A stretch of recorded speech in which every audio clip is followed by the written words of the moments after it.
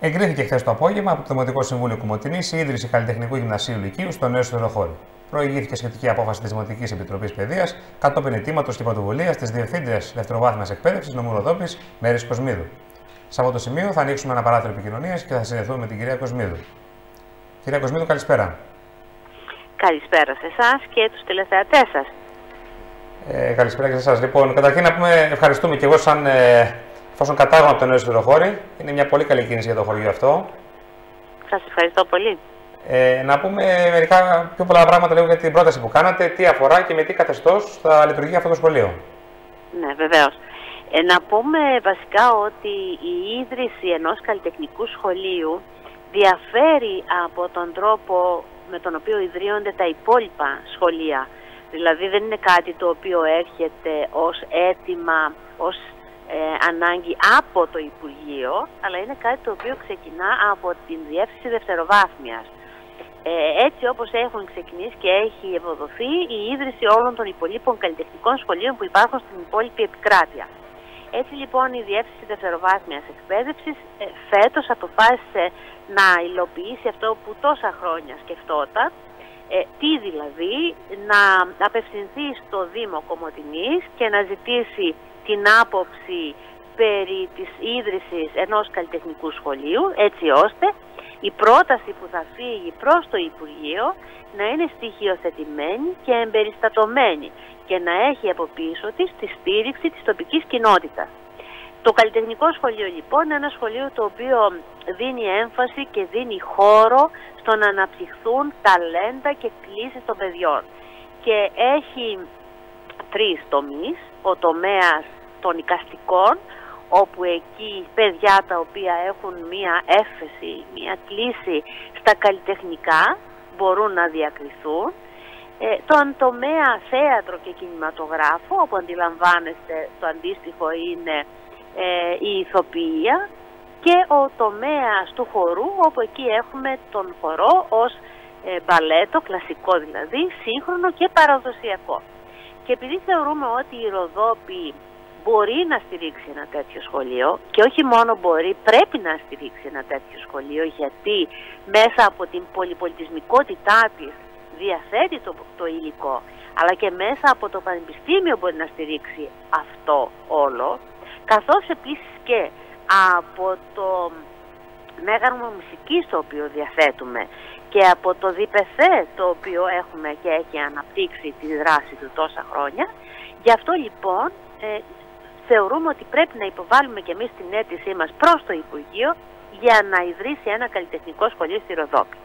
Πήγαμε όμως συντεταγμένα, προχωράμε οργανωμένα, δηλαδή θα έχουμε μία πρόταση η οποία θα είναι όπως σας είπα από πίσω θα έχει τη στήριξη του Δήμου Κομωτινής, άρα της τοπικής κοινότητας. Θα έχουμε όλα εκείνα τα οποία αποτελούν προσόν για να στηριχθεί αυτό το σχολείο και από εκεί και πέρα θα το αφήσουμε στην Υπουργό να κρίνει εάν θα πρέπει να μας δώσει την έγκριση και αν θα το δούμε τελικά με ένα ΦΕΤ ίδρυσης λειτουργίας. Μάλιστα. Τώρα είναι ένα σχολείο, γιατί στο σιδηροχώρι θα μου πείτε, με ρώτησαν και οι γονείς, ε, δεν υπάρχει κάτι στο, στην Κομωτινή. Όχι, δεν υπάρχει σχολικό κτίριο μέσα στην, στον αστικό κορμό της πόλης ώστε να μπορεί να γίνει, αφενός. Αφετέρου, έχουμε ένα κτηριακό συγκρότημα το οποίο είναι χαρακτηρισμένο ως σχολείο στο νέο σιδηροχώρι το οποίο όπως είπατε και εσείς κατάγεστε από εκεί και μπορείτε να πιστοποιήσετε πόσο όμορφο σχολικό κτίριο είναι. Και μπορώ να πω ε, μάλιστα ότι αν δεν κάνω λάθος, όταν ο παππούς μου ήταν πρόεδρος στη κοινότητα, χτίστηκε αυτό το γυμνάσιο, αλλά δεν είμαι 100% σίγουρος, το λέω με μια επιφύλαξη. Ε, ενδεχομένως έτσι να είναι, όμως είναι ένα κτίριο το οποίο όλα αυτά τα χρόνια έχει δεχθεί την περιποίηση και την ανακαίνιση από τον Δήμο Κομωτινής ε, τα τελευταία χρόνια, αν μη τι άλλο, που ανήκει στον αστικό κορμό ε, στο Δήμο Κομωτινής ε, πιο μπροστά ως κοινότητας ε, Δήμος από το Σιδηροχώρι. Είναι ένα σχολείο λοιπόν το οποίο έχει πραγματικά ε, ένα όμορφο κλίμα, ένα σχολείο το οποίο μπορεί να έχουμε και επέκταση. Ε, έρχεται να δώσει πνοή στο σιδηροχώρι μας. Ε, δεν υπάρχει θέμα κοινωνίας γιατί όπως και το μουσικό σχολείο, το καλλιτεχνικό, έχει το δικό του αστικό λεωφορείο, μαθητικό λεωφορείο με το οποίο τα παιδιά μετακινούνται, γιατί είναι ένα σχολείο που λειτουργεί με 40 ώρες διδακτικό ωράριο και όχι 32 όπως είναι τα γενικά σχολεία. Και είναι ένα σχολείο πραγματικά το οποίο ε, έρχεται να δώσει και επιπλέον αυτό, να σταθεί δίπλα στο ήδη λειτουργούν μουσικό σχολείο το οποίο κάνει μια φανταστική δουλειά και να ενώσουν αυτά τα δύο σχολεία πλέον τις δυνάμεις τους και να κάνουν αυτό το οποίο η Ροδόπη θα πρέπει να έχει. Ένα ιδιαίτερο εκπαιδευτικό πρόγραμμα και μια δυνατότητα σε όλες τις ε, ικανότητες να αναπτύσσονται. Και με αυτόν τον τρόπο φυσικά παίρνει και ζωή η Ήπεθρος και χωριά όπως είναι το νέο Στεροχώριο, το οποίο είναι μεγάλο χωριό, έχει αρκετά καταστήματα που μπορεί να εξυπηρετήσει και τους μαθητές και τους γονείς που ίσως ε, θα μεταφέρουν τα παιδιά ή θα επισκέπτονται το χωριό. Και εντάξει, γενικά είναι μια φοβερή κίνηση η οποία θα δώσει, μακάρι να αποτελέσει και ένα βήμα να γίνουν και άλλες τέτοιες δράσεις και σε άλλα χωριά του νομού. Μακάρι.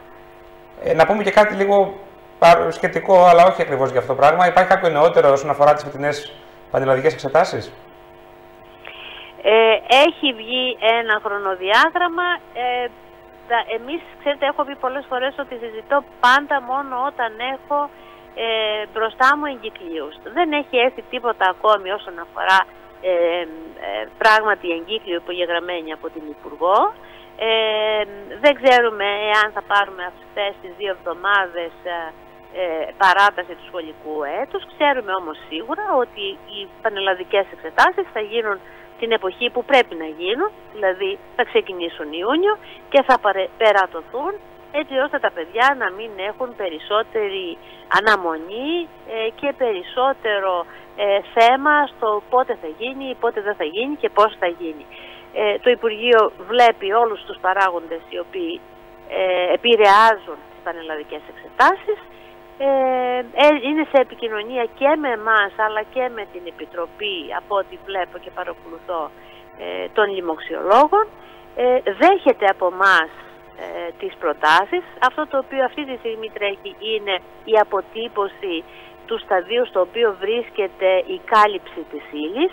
από ό,τι βλέπω τουλάχιστον στην ε, διεύθυνση με στη Ροδόπη η ύλη μας είναι, προχωρά όπως και τις προηγούμενες χρονιές, επομένως έχει καλυφθεί αυτό το οποίο έπρεπε να καλυφθεί, ε, θα είμαστε εν αναμονή. Ε, είναι δύσκολος, αυτός ο μήνας είναι ένας δύσκολος μήνας για τους υποψηφίους, ε, φέρνει κούραση, φέρνει μια πτώση.